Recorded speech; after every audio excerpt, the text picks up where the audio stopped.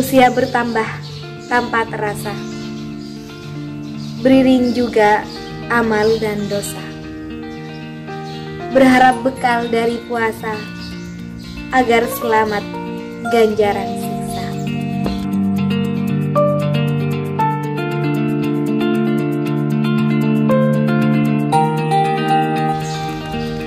Hari sudah yang ke-18.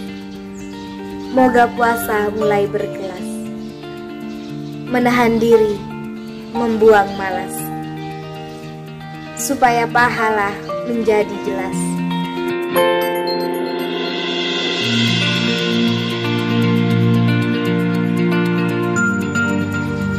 Jangan terbalik, kita terdorong.